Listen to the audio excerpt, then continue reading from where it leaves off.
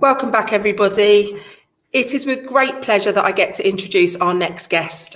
Ross is a former deputy head teacher who has worked for 27 years teaching in some of the most challenging secondary schools in London.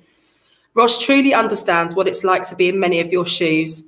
Ross started his own non educational blog back in 2007, which went viral. Ross then carried this blogging on into the education world, and I am sure I speak for many of you when I say that we are truly grateful that he did.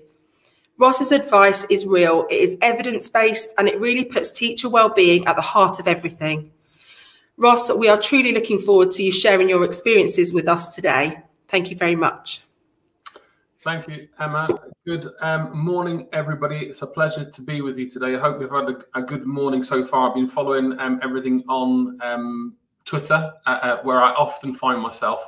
Um, I'm just going to share my screen. I hope you can see that on your side.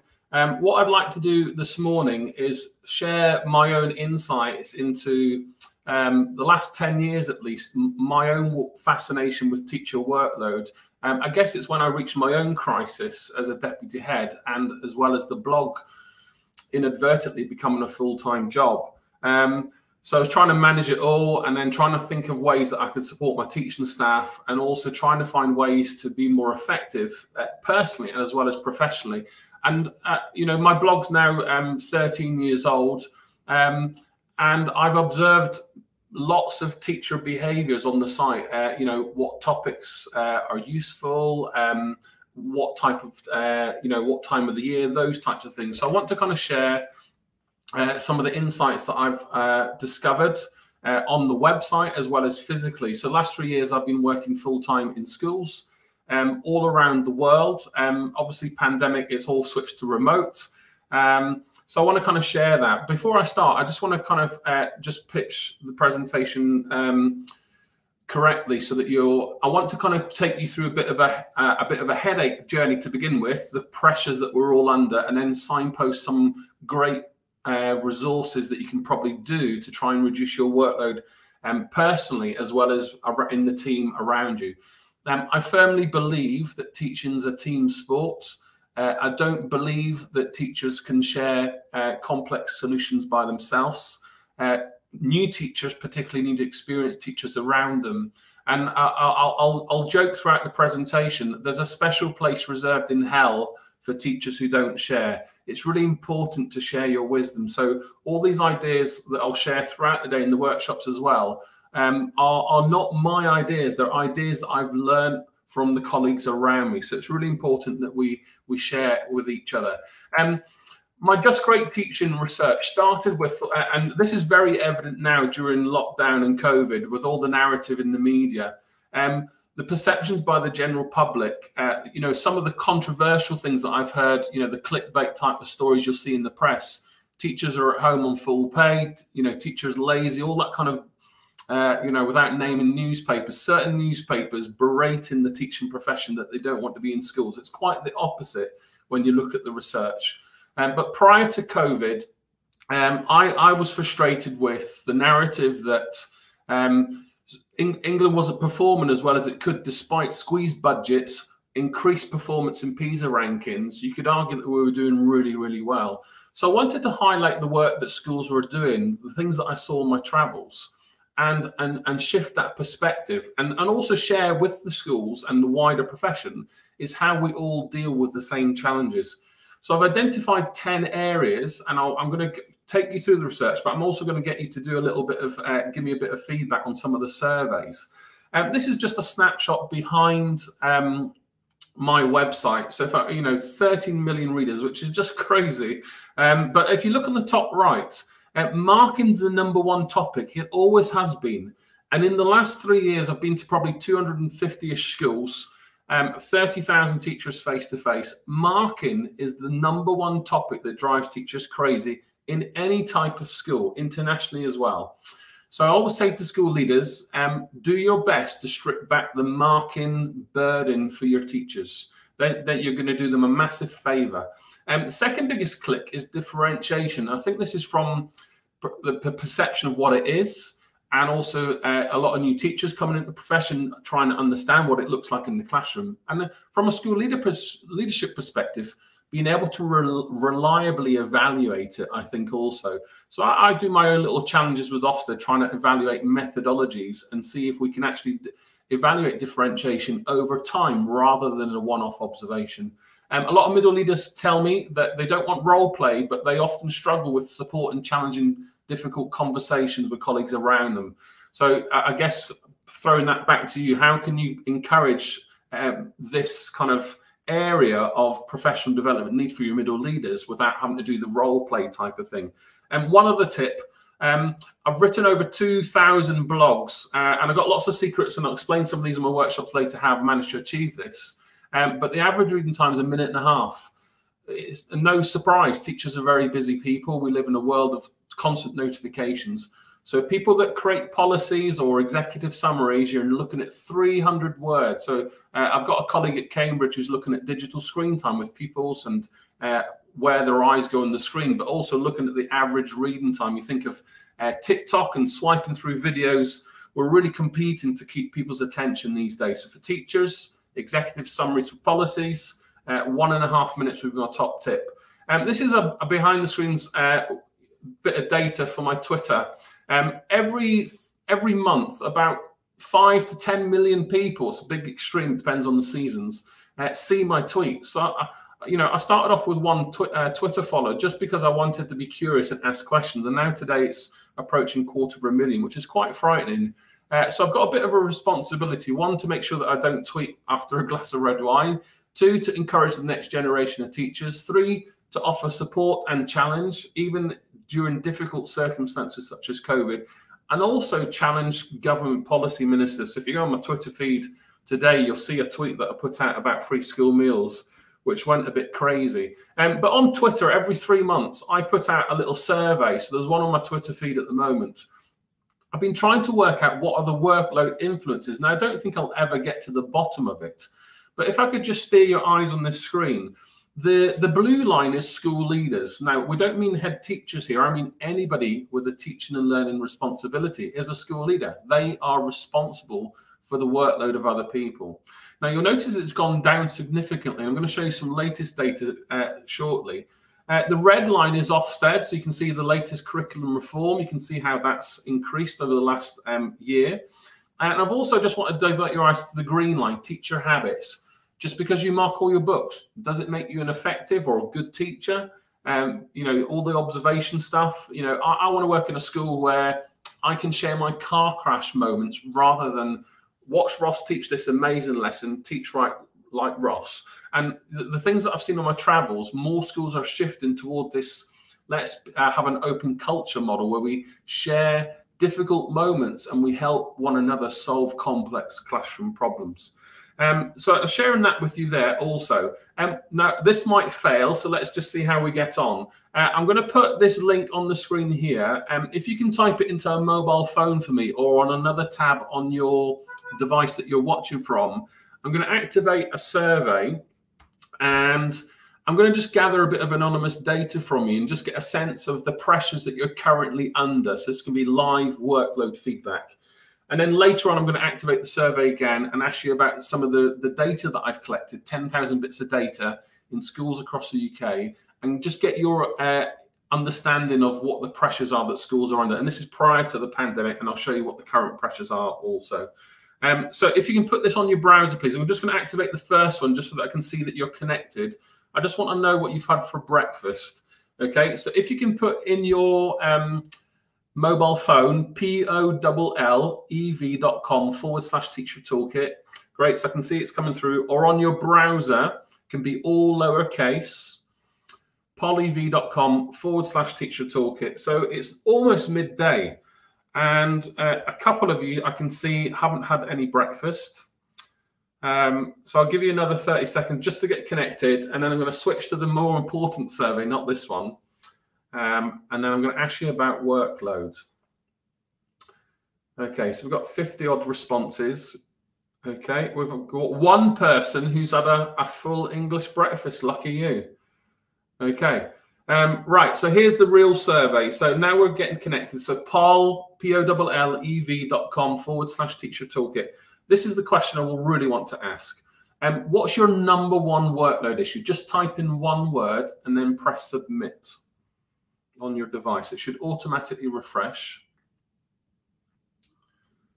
Okay. And then once you've typed in one word, type in another word and press submit again. And let's see if we can all enter four or five words each. And I'm hoping we can get easily plus 100 responses on the screen. So you can see the number of results in the bottom right hand corner. So I'll give you 30 seconds to do that. So one word at a time, as many as you can. Um, it's not, uh, it's anonymous, but there's no filter. So if you type Emma's name or my name, uh, it will appear. So uh, please be cautious. Okay, so we're plus 100 results. Great. Now, I'll tell you for free, marking's the number one thing that comes up everywhere I go. Marking, marking, marking. Um, when I'm with NQTs, it's obviously planning and behavior. With school leaders, um, it's safeguarding, parents, and emails. Uh, I've got no idea why that's going small, uh, but marking you can see in the middle. The larger the word, the the bigger the need. So we can we can see emails, meetings, paperwork, and planning there. So I'm going to move on. Thank you for your responses. I'm going to come back to this slide a bit later.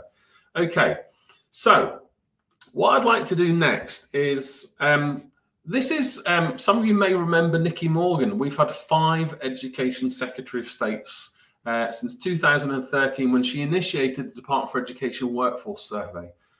And this happens every two or three years. And 44,000 teachers responded to this survey. You'll see at the top, 56% of teachers said they were frustrated with putting in data on Progresso, iSAMS, SIMS, whatever platform you use. So I'm showing you this for comparison as to where the pressures are today. Second one uh, there, 53%, so almost 24, 25,000 teachers said marking, detail and frequency. Uh, marking policies that have a number on them, mark once a week, once a fortnight, once a half term, uh, purple pen of progress, all those types of things, in my opinion, aren't conducive to progress. Um, third one I'm going to put on there, um, interesting that we're on an inset day, but staff meetings. Are your staff meetings a good use of your time? Uh, you've taught a five period day and then you're brought together for a, an hour after school. You're given a huge to do list and no time to do it. Um, there's tons of research on effective meetings. Rotating the chair, stand up meetings will go quicker, which is great for working, uh, having difficult conversations with parents.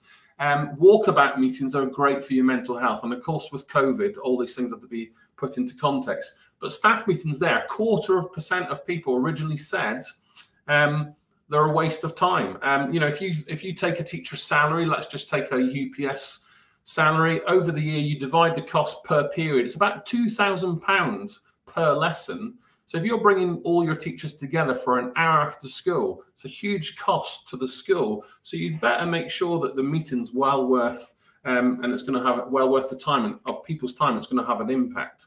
Um, why do teachers leave the profession? So the number one reason, all the research that I read is workload. So obviously within this is marking, planning, behaviour, uh, administration, all those types of things. My current research, so I'm in my third year doing my doctorate at Cambridge. I'm looking at Ofsted influences. Um, I was um, quite instrumental in uh, helping abolish lesson gradings in 2014. My research has now shifted to lesson gradings of schools. Um, you know, I've worked in all different types of schools, all challenging schools uh, down in London. Um, but you know, special measures are now outstanding. I've pretty much done the same thing. It's the location, it's the demographics of your pupils which make a difference, and obviously the goalposts. So I want to see if Ofsted goalposts or headline metrics that the Ofsted outstandings and special measures have any influence on teacher headcount, house prices, and knife crime. Uh, my opinion, it does, uh, and I think it might be actually um, exacerbating poverty and inequality across the UK. Um, poor behaviours there, as is um, teacher salary. These things are are all the factors that why we leave the profession. Uh, we need to be paid more. We all suffer from difficult classes, but workload's always the biggest reason. And um, actually, there's been more teachers requests to go part time than ever before, about 27, 28,000 people. Uh, obviously, through COVID, once we see the changes of this, it'll be very interesting to see where the landscape lies. Obviously, um, we're very lucky to have a job still during COVID. Uh, many people have lost their jobs, so a, a, huge spike in applications. So, for the first time in eight years, we don't have an application. Obviously, there'll be certain subjects, but generally, applications to join the teaching profession are uh, the highest they've been in nearly eight years. Um, now, let me steer your eyes to this slide. If you look at the bottom right hand side, first of all, this is a comparison between 2019 and 16 with workload. Uh, the biggest shifts in workload have been number one, marking, two, data, three, lesson plans, four, behavior, and five, appraisal. Now, if we shift our eyes to the top, the interesting thing is a lot of schools have looked at their marking and assessments. 23% of teachers said it's got better, which is this blue line, uh, blue code here. But the light blue, 25% said, yes, we've looked at it, but it's made matters worse. And if you filter your eyes down the lines, data 35%, yes, we've looked at it, it's got worse.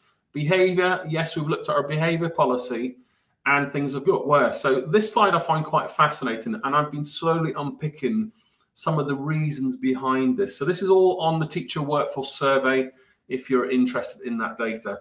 Now you're going to laugh here. Um, the teacher, the data on teacher workload goes back 20 years. So you can see the dates along the bottom of the slide. If you're a classroom teacher, you're working at least 45 to 55 hours on average, and this is before the pandemic, uh, during the working week to keep up with your work. School leaders out there, uh, 55 to 80 hours is the average.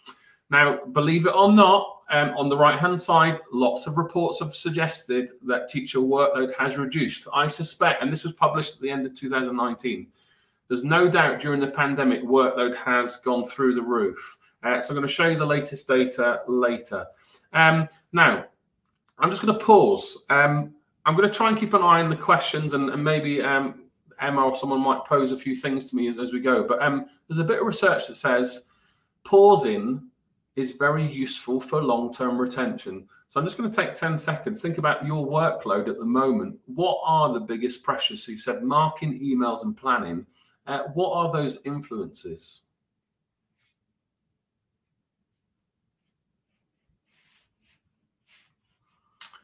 Okay.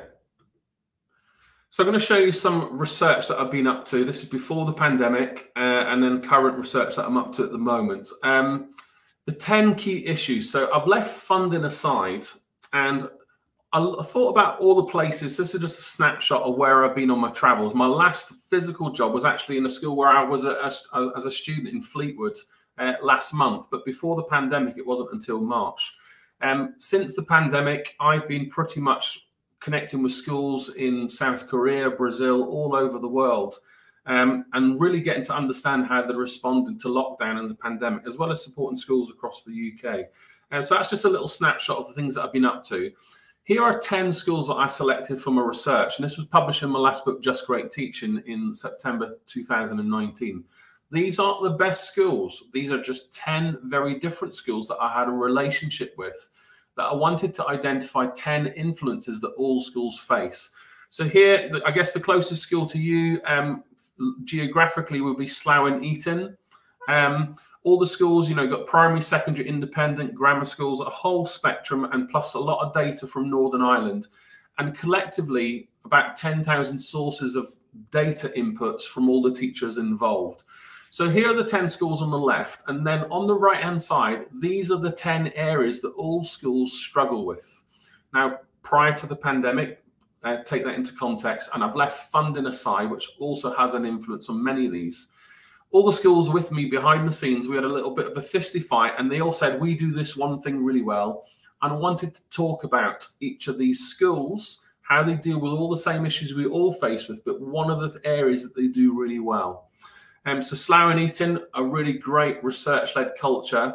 Um, Peter Collins, the head teacher there, just fantastic work going on. So I'm going to share um, the data that I collected. But before I do, I want you back on your devices. So if you can go back to pollev.com forward slash teacher toolkit. If you've got your tab open, it should automatically refresh.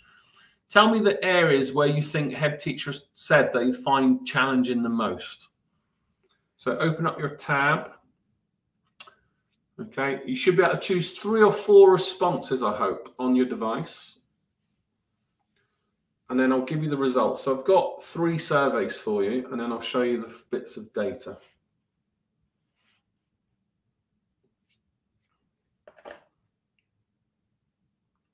Okay, so it's clear we're going with teacher well-being. So we're just going to make a note of that. Teacher well-being, everybody, is the, the where teachers find the challenge.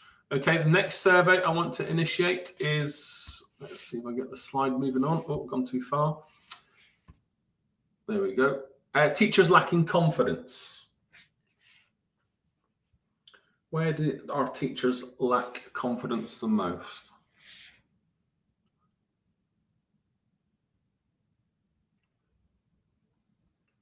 Okay, so we've got was a kind of two horse race between uh, three horse race behavior, SEN, mental health with assessment coming in like a horse race here. Okay, I'm going I'm going to go with SEN. Okay, for teacher confidence. Uh, and then the third survey I'd like to ask you is um, what do teachers find challenging?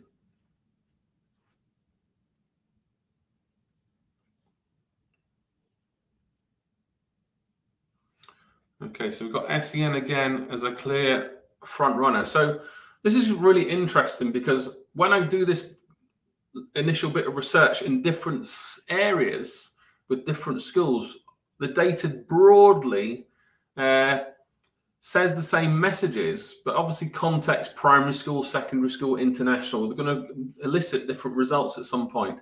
Interesting that nobody said teaching and learning is a challenge or CPD. Um, so that correlates with some of the stuff that I found. Um, so let me just show you some of the results. Head teachers said they're really confident in managing pupils' mental health, teaching and learning, and curriculum choices. And where they struggled with the most was managing teachers' well-being. Ross, go home. Don't worry about your books. Don't worry about X, Y, Z. Managing pupil mental health with limited resources, lack of psychologists, counsellors on our doorstep to give us that support, and also accessing all this explosion of with research. It's great to see so much research coming emerging across the profession, but there's so much of it. I can't keep up. I've got to focus on my day job. Some of the research is 30, 40 pages long, if not more. Sometimes it's behind a paywall. It gives some recommendations, but I still have to translate it into my own school setting. So there's still more work to do. So it's a real challenge. So that's where the head teachers say the greatest influences in these 10 schools. No, there's 32,000 schools across the UK, 23, 24, 25,000 in England, uh, 18, 19,000 primary schools. So it's a small snapshot, okay? And um, teacher strengths, hallelujah, teaching and learning and planning were the biggest forces. So we've got those nailed. Mark, plan, teach is where teachers focus their energies. And my advice to everyone for today, school leaders, I know there's lots of pressures, but we should be stripping back as much as we can and letting teachers just focus on managing people's mental health and their own and the business of the classroom. Mark, plan, teach. Teacher challenges, managing your own well-being. So conference on well-being. How do you know if you're struggling? Um, it took me a long time to realize I was having a bit of a workload crisis in about 2015, 16. Um, so, you know, does your school have kind of non-verbal signals, posters on the wall, staff room?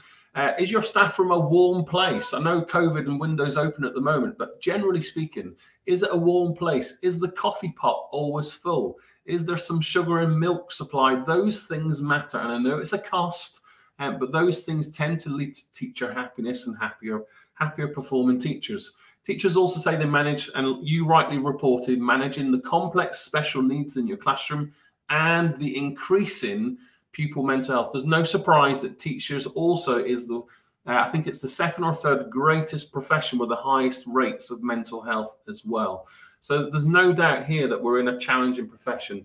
Um, so remember, Pausing in lessons as well as lectures and remotely helps long-term retention.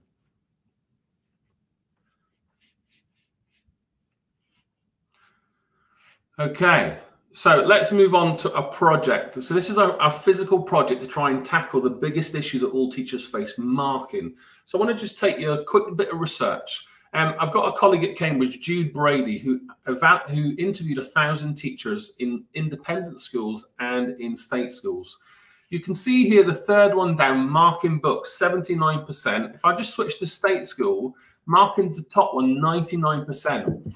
And what she, in, in summary, um, her research uh, suggested that both types of teachers in both types of schools worked the same number of hours. In fact, they reported about 55 hours average working week. But the biggest difference was that state school teachers believed they were always asked to complete meaningless tasks. So things that were uh, tracking sheets, data collections, evidencing for other purposes other than the impact on the classroom. So I found that was very fascinating. Um, I don't know if you were in, uh, familiar with Teacher Tapp. Uh, so I'll check the comments at some point later today, but it's a fabulous little application. I think there's about 10,000 teachers using it every day, three questions on an app, and they gather immediate data. It's fantastic for understanding the needs of the profession.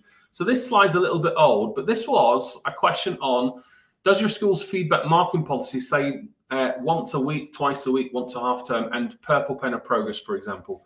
You'll see quite clearly here, the, the more challenging your demographics, so the IDACI code or free school meals quintile five, your school's more likely to say you will mark once a week or twice or twice a fortnight, whatever it would be, and purple pen of progress. I'm just going to come out my slides, so I hope you can still see my screen at least. Um, Teacher Tapp here.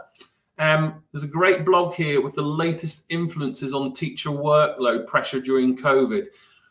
When this was published in October, teachers were saying it already feels like December when we're exhausted. And then hopefully you can see my screen. There's a great book, an academic book on demoralization and don't conflate being demoralized about your job versus burnout. It's quite interesting. Um, but this one here, you can see um, this third question. I hope we can see this. I might just zoom this in so we can see. Um, they got the data across the top, different years, but this is the latest one. More teachers are reporting they are burnt out at this time of the year during the virus. This one here, enjoyment, you can also see head teachers and teachers are reporting not enjoying working in schools compared to September and October with the pressure. And then there's another interesting question about marking here, about how long we're spending on marking different months of the year.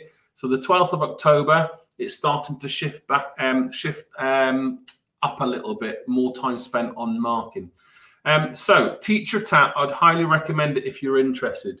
Now, I'm a design and technology teacher, and um, I used to get frustrated when observers, school leaders, Ofsted inspectors in my life as a deputy head walking around 110 classrooms. I used to get frustrated with you can't necessarily impose an assessment policy on so many different subjects with different schema, different subject knowledge. Uh, assessment is going to look very different in PE compared to maths, and it's going to look very different in an English lesson with year 11 compared to an English lesson in year three. So the challenges for schools is how do you get some degree of consistency and, and I think consistency is probably the wrong thing that we're chasing because you're never going to get 100% consistency. So I, have kind of shifted my perspective to think schools should be seeking co coherence. Teachers want clarity about expectations, and then they can veer off to do things in their own specialisms. So my life as a DT teacher, I'd be banging a hammer for, for six weeks. We'd make a chair. There'd be not very much work in the books, and then someone would pop in a month later and say, where's all the work? And much of it had been lost. Um, so that was the kind of roots of my verbal feedback research. Now, here's a question for you before I give you the answer. Um, in the chat box, um, what's the etymological meaning of the word assessment? What does it mean? What's it? Where, where does the word stem from?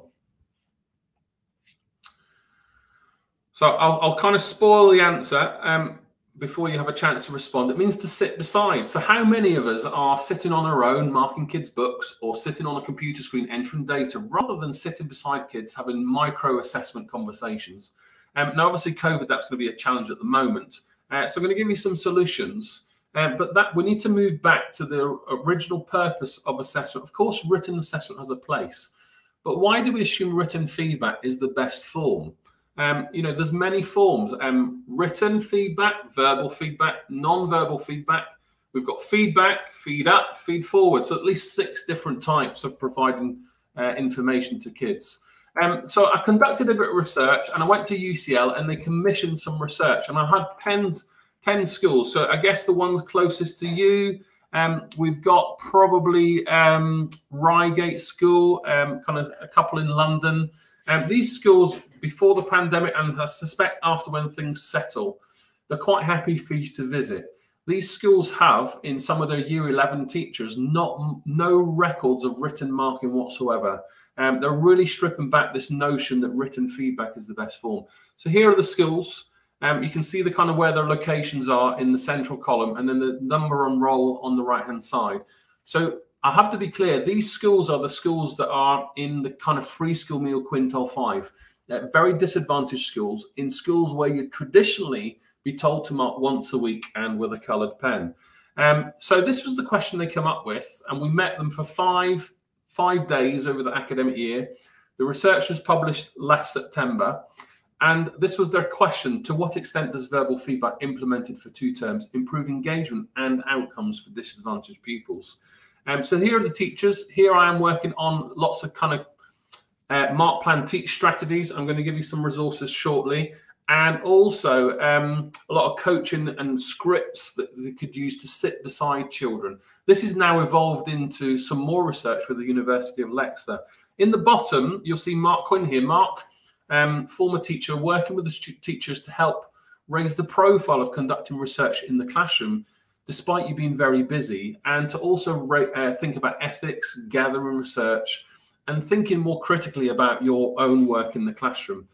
This is the model that he followed. Um, ask the question, investigate, innovate, and reflect, and kind of pose the question, uh, a kind of tentative claim that if I don't mark books, does it actually improve outcomes? So we had the teachers kind of saying those things halfway through the project that it did.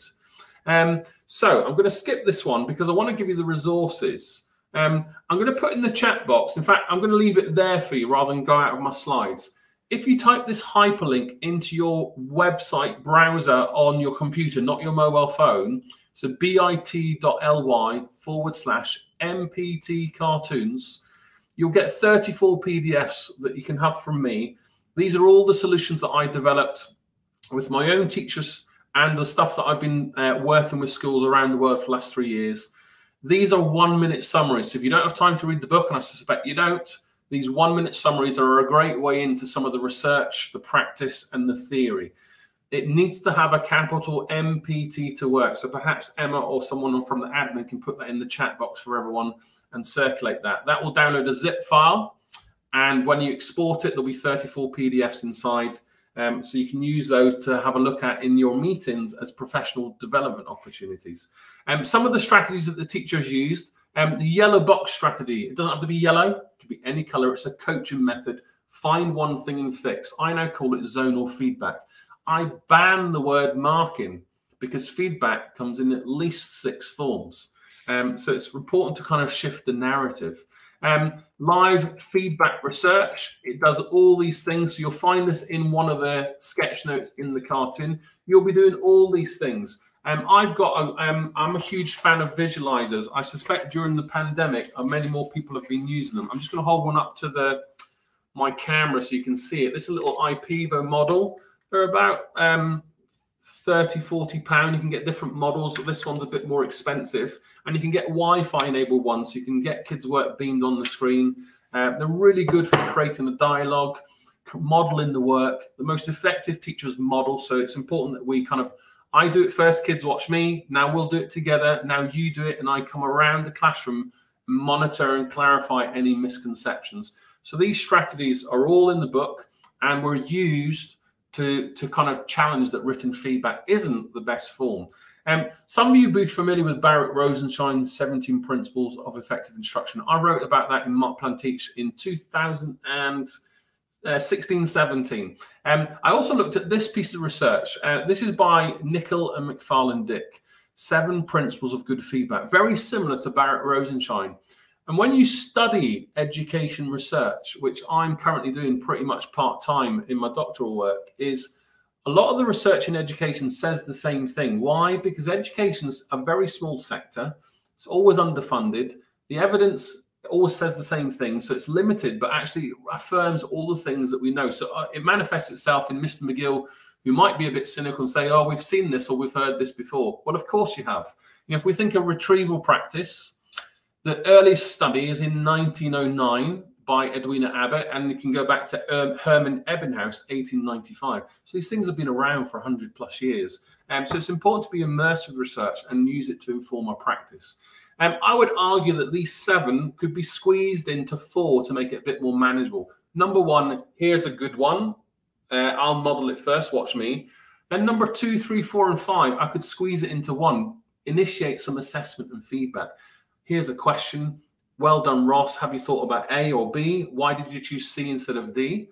Um, and then number six is where all teachers spend their time, energies, and efforts. You you you plug in the interventions in the lesson and plan outside to then plan for the next lesson.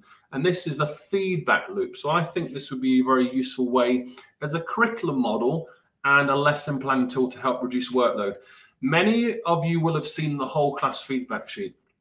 30 books. I don't mark the books, I annotate this one sheet and then I use this to provide verbal feedback to the students around the classroom. And I might target it in three groups. Every classroom in the world has three groups of students students that are high performing and can get off with your instruction, two that need a little bit of script or feedback, and then off they go. And then the three, the group that always struggle and need a bit more attention, love, and care. So, you know, think about your classroom in that respect and how you can do this. Now, I'll take it again a little bit further Here's the whole class feedback sheet with the three types of feedback. Again, think you would be annotating the sheet looking at the 30 books. Number one, here's a good example, but I'm going to use feed up. So if you look at the small uh, black text underneath, this is comparing the actual status of the new piece of work with the target. That's feed up. Feedback, which is what most of us do or say at least, and when it comes to kind of providing feedback, is comparing the new piece of work to where they were before. And then number three, um, feed forward is explaining the target status. So pretty much when we get into exam territory and we start to explain to kids how they move up to the next level. So think about your feedback in your groups, other ways of providing feedback rather than things always having to be written down. Everything and anything I'm reading in the world of research always comes back to retrieval practice. This is where you all need to spend your time and efforts quizzing, uh, multiple choice questions. There are 10 benefits there. If we even look at number nine, increasing learning that is lost.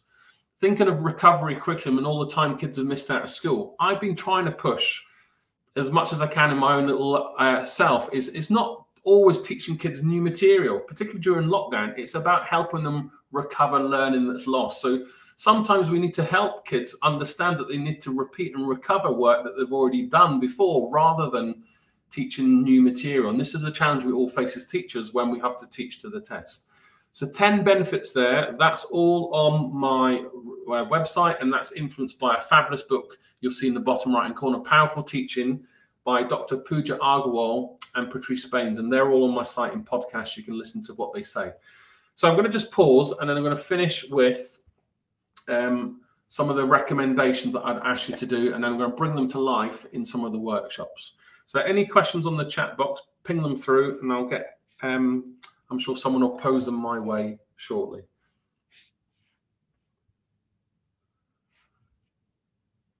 Okay, so here's the report. So of all the strategies that the teachers used for the verbal feedback project, you'll see there was 13 teachers, all secondary school teachers in disadvantaged schools.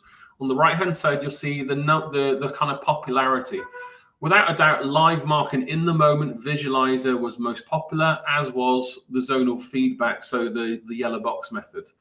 Um, here's the report. So perhaps someone from admin can put this in the chat box. I'll circulate all the slides, all the resources uh, with you uh, later today. But there is the hyperlink bit.ly forward slash capital VFF findings.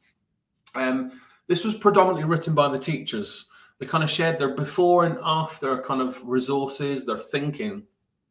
And it's not a, a difficult piece of academic research to, to read. And I was really delighted when UCL funded this because I knew as a teacher that when I spoke to kids in class or I went to go and do learning walks in PE or maths or drama with an Ofsted inspector, I knew it was just a snapshot and there was much more work going on behind the scenes that could not be evaluated in the moment. So I wanted to have some academic research to back it up. And this is it. So it's not a difficult paper to read. I know you're all incredibly busy, but when times uh, come back to normal and marking comes back as the number one issue, please can I encourage at least your school leadership team to look at this piece of research And the orange pamphlet, there are all the resources which I'll send to you as well.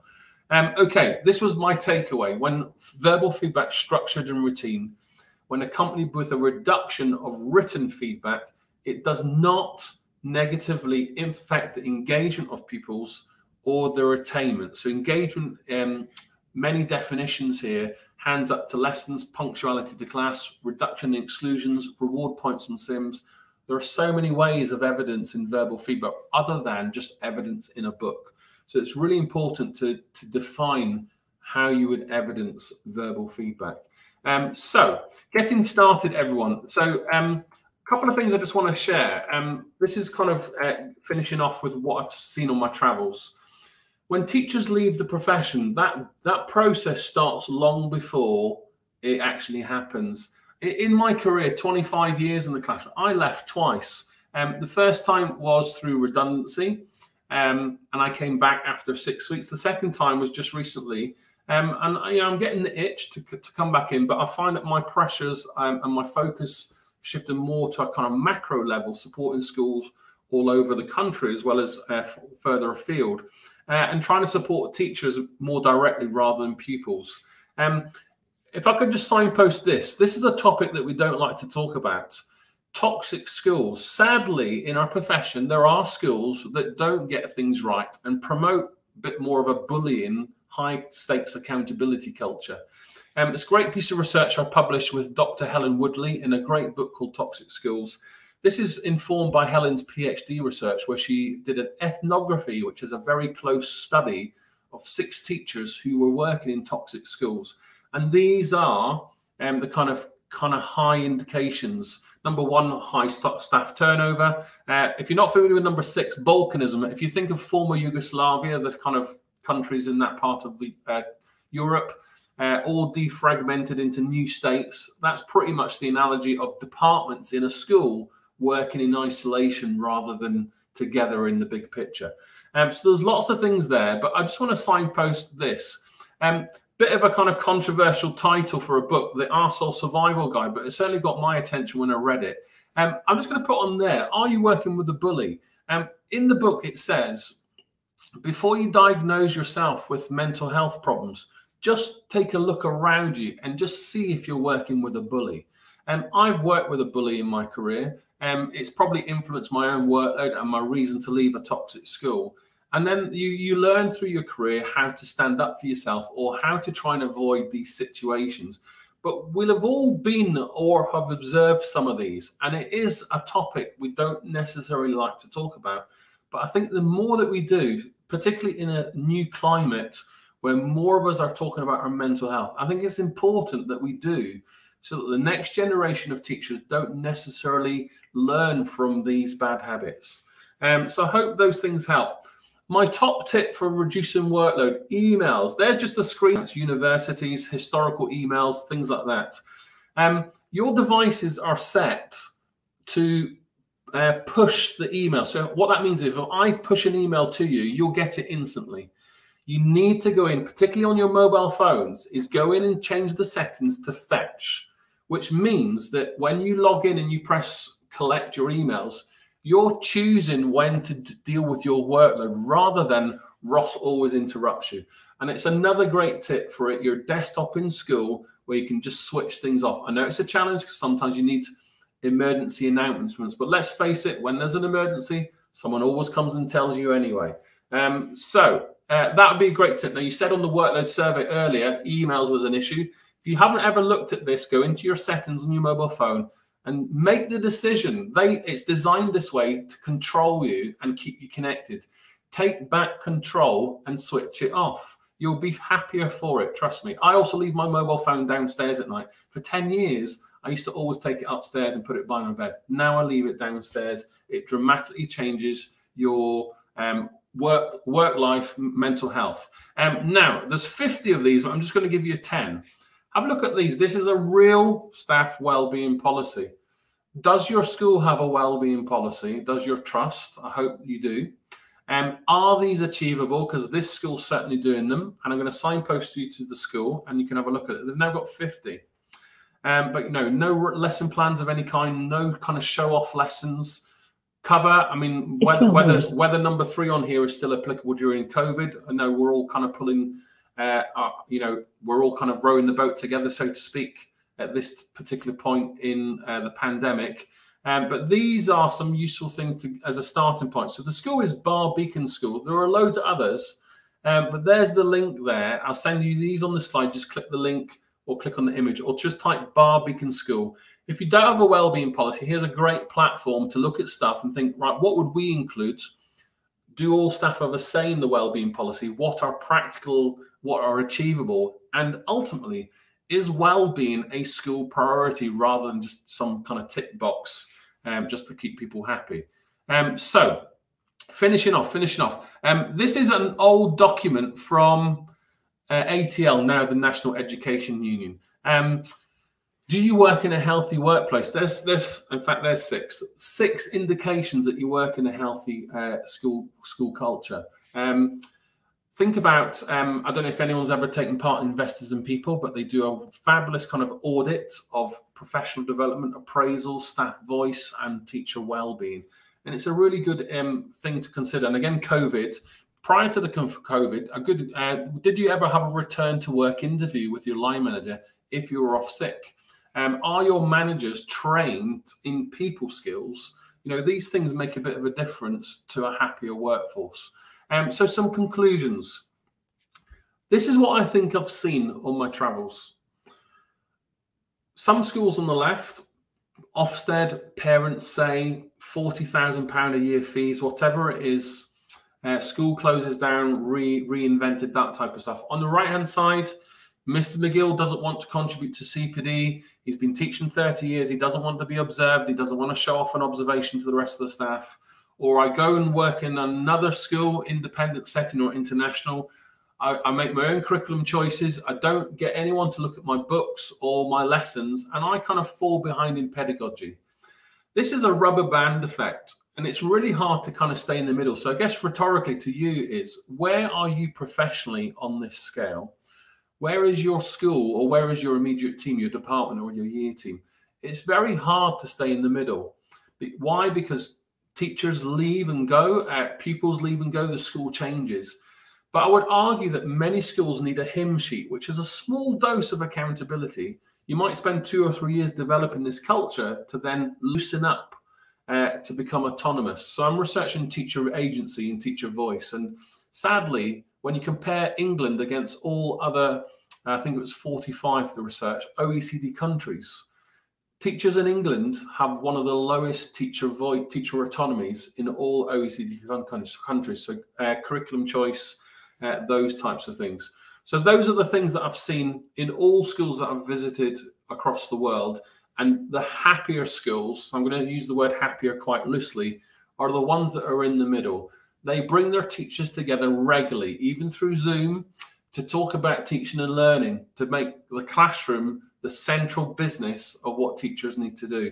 And they're constantly, uh, all teachers have a voice, even the NQTs, and they're looking at research thinking, oh, Ross said that, that's interesting. Let's think about this. We don't like this. It's not applicable for our setting, but let's tweak it and refine it. And it's a constant process. And I would argue probably happens on a weekly basis.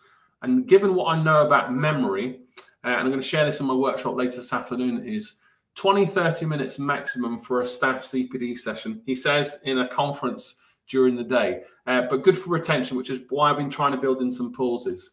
Um, here's a CPD culture plan, something that you can't do straight away. It's going to take 12 to 18 months. But this is what I think I've seen schools do to reshape their teaching culture and the things that they would need to do. Do you, is your CPD always protected? Is it calendared? Is it public? Does everybody have a say? Is it or is it just always Ross, the CPD leader, leading the CPD sessions? Do you have kind of work workshop marketplace down the corridor with 10 or 12 classrooms going on where staff can choose where they go and they some of them are directed and some of them are voluntary those types of things seem to be better places for staff uh, professional development i'll finish with this kind of just thrown this in at the end given that we're you know going into a lockdown and we may or may not be teaching remotely. If you're not, you already are dealing with some children uh, remotely. Um, piece of research from the health industry, and I think there are many things we can use here for teaching in a virtual environment. good teaching is good teaching. Um, teacher gaze, when I look at the material, it helps retention. When I pause, all the activities that I use, the question, all the kind of tools, all these things make a big difference for retention. Um, and you know, can you build up a relationship with people online? I'd like to hope so. And when you know your kids better, you've got probably you know safeguard and all those things with context. Uh, you can make a big difference remotely. So um, there's a bit of research. I've explained this on my blog, and I hope that will help. Um, I'm going to finish um, with this summary. These are the things that I've tried to do. I'm not going to read them all back over, um, but some of the kind of things that I've been advocating for a number of years. Everyone's responsible for their own workload as well as each other's, and we need to think about, you know, during the pandemic and when we get past it, how we can, you know, teacher workload's always going to be an issue. So how can we keep teachers focused on their core business to ultimately stop teachers leaving the profession and improve teacher happiness. You know, the average lifespan of a teacher is 13 years. I'm surprised I made 25 years looking back. Um, but you know, think about where you are in the teaching sector. You know, with burnout at the moment during COVID, is it sustainable? Probably not. So, what can your schools do to support you? Is mental health a conversation, or is it always swept under the carpet? Um, there are some practical things that we can all do, as well as what we can do collectively. Um, finish with this: teaching's a team sport. It's important to share, and if we don't, there's that special place reserved in hell. Um, so I hope that helps everyone. There's my email. I'm going to send you all the slides, all the resources, um, and I, uh, I hope that helps uh, give you a kind of sense of the state of the nation at the moment. Uh, thanks for listening. Thanks, Ross. That's really good. And um, we've got some questions in the chat. If you're okay, just to uh, yeah. share some thoughts on them. Uh, I'm just gonna. I can bring it in straight into Streamyard.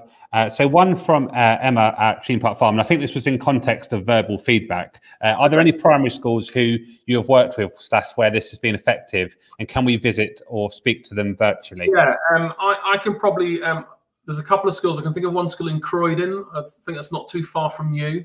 Um, and there's another school, uh, I don't know the exact little village, but somewhere in Oxfordshire that I know both primary schools that I work with that are using verbal feedback techniques.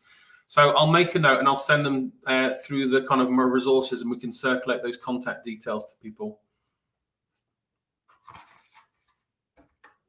Excellent. Thank you, uh, Ross. another question, uh, just bring it in here.